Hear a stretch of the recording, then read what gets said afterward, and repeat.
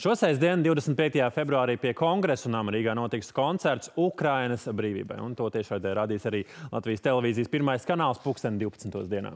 Jā, mūziķi aicināti kopā, lai mēs visi ar dziesmas spēku pateiktu, ko mēs domājam par šo karu.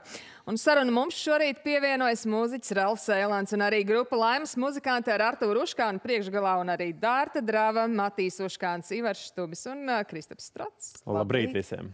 Labrīt. Prieksies redzēt. Prieks redzēt. Eh, protams, jā, rītā ir gads kopš aprit eh, Krievijas iebrukuma. Un tās eh, emociju un pārdomu gāma un amplitūda raufa milzīgi varētu būt kopš pagājušā gada 27. februāra līdz šim brīdim. Jā. Protams, visdažādākās emocijas šī nedēļa vispār ir tāda pavisam citā sajūta līmenī. Un, jāsaka, kā ir. Negribējās otro gadu rīkot koncertu karazīmē.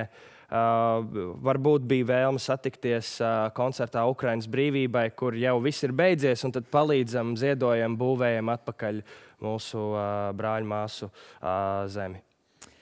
Pagājušajā gadā, 25. februārī, šis koncerts, ko tu organizēji, bija ārkārtīgi emocionāli piesātināts. Tas bija ļoti, protams, tāds emocionāls brīdis visiem. Kāds būs šā gada koncerts? Uh, Šī gada koncerts līdz ar to, ka mums ir vairāk laika, ir ar, arī papildus aktivitātēm cilvēkiem ārā. Būs iespēja veidot tās, tā teikt, sveces lieta. Ja? Mm -hmm. uh, tad būs arī uh, Ukraiņas boršs, būs uh, vēl citas aktivitātes, ar kurām nodarboties, kamēr kāds runā uz skatuves, vai arī kamēr kāds spēlē ģimenēm, uh, draugiem būs iespēja staigāt apkārt, darboties. Uh, viss kaut kas no Jā, un pagājušajā gadā tas bija tāds kārtīgs koncertu maratons. Cik uh, garš šogad būs pasākums? Ilgs? Šogad ir paredzēts no 12 līdz 5. Sāksim tā kā pagājušajā gadā ar koriem, orķestriem un uh, lieliskiem diriģentiem. Un, uh, turpināsim tad ar tā teikt, populārās uh, mūzikas skaļās dziļās mūzikas, kā man patīk to saukt, mm -hmm. sadaļu. Uh, nu, Varbūt būs mazliet īsāk, varbūt būs mazliet garāk, bet nu, ceram līdz pieciem, jo es vakarā vēlos paspēt ļoti uz dzelzceļa vilku koncertu plādījumā. un, uh, jā, man tas ir svarīgi.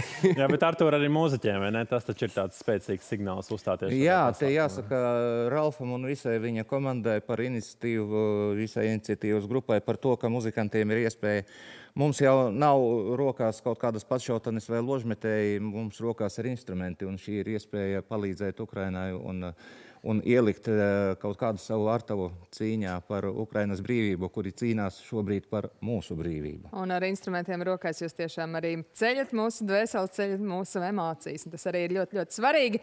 Ralstēts skaļās mūzikas pārstāvi, mēs jau pārliecinājāmies, ka jūs ļoti skaļi, un tūlīt mēs gribam arī, lai mūsu skatītājiem ir iespēja par to pārliecināt. Lai skan. Lūdzu.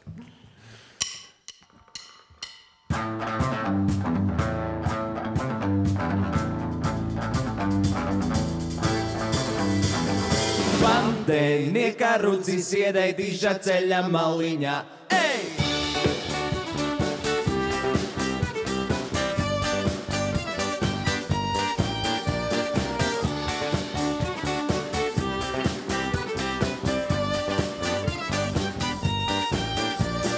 Пан, тенника руці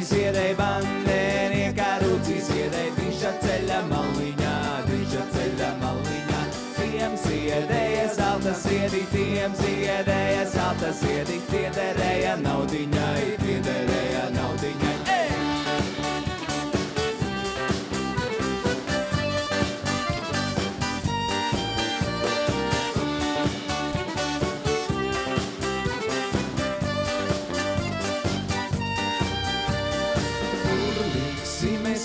naudu, kuru liksīmē sīku naudu, kad tā vairs neģeldēja, kad tā vairs neģeldēja. Nesīsīmē piekalēja, nesīsīmē piekalēja, kaldināsim iemaltīts, kaldināsim iemaltīts.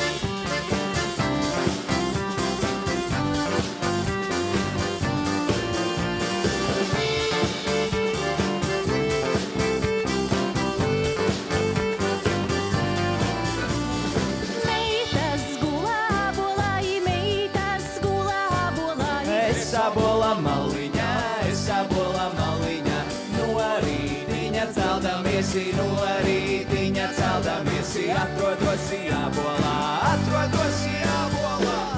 Atrodos jābolā. Ei! jaunu meitu pulciņā.